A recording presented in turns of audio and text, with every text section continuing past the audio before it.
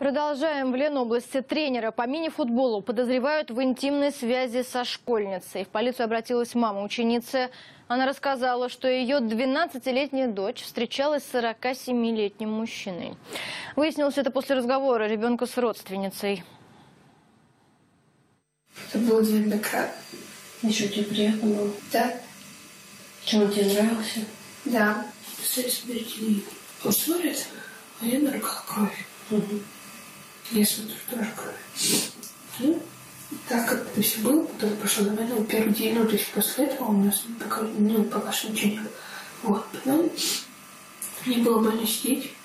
Ну, это понятно, потому что шла кровь, это уже точно сто процентов была не девочка. Мужчина был тренером детской мини-футбольной команды. Мама девочки рассказала, что он неоднократно вступал в интимную связь с ее дочкой.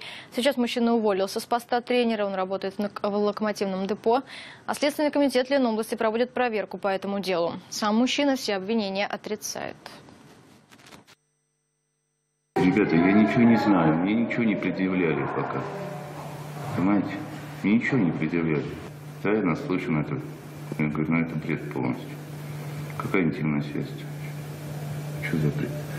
Ну, представляете, я работаю машинистом, какие тут связи могут быть? Я приезжаю, сыпаюсь, иду на тренировку с детьми. Все, 4 часа обратно. Все, я опять уезжаю.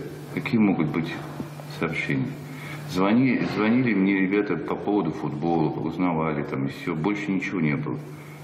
Почему я не могу дать, допустим, свой телефон тренерский, да, детям, допустим, которые общаются?